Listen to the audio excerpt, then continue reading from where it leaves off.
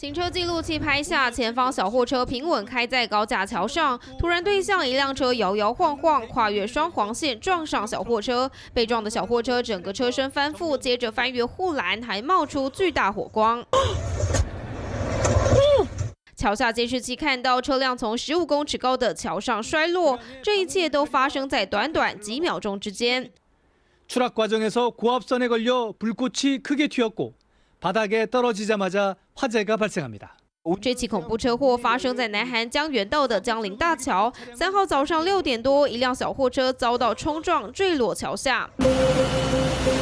即便救护车和消防队短短五分钟就赶到现场，但驾驶和乘客当场没了呼吸、心跳，紧急送医不治。另外还有三人受伤。운전수역문이열려있고유리는하나없는것같고차는뭐저 어적재함쪽이저쪽강쪽으로있으니까一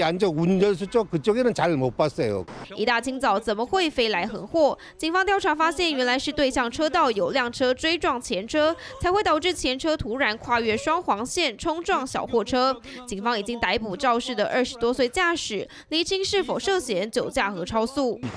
차량처치한거에대해서감정결과가나와야될것이고 그다음에블랙박스라든가주변 CCTV 그런걸로해서사고의원인을갖다가파규명한还没报道两名死者都是临时工，当天一早正要去工作，却无辜遭遇死劫。肇事驾驶没事，却害死两条性命，这结果任谁都难以接受。三立新闻，双报道。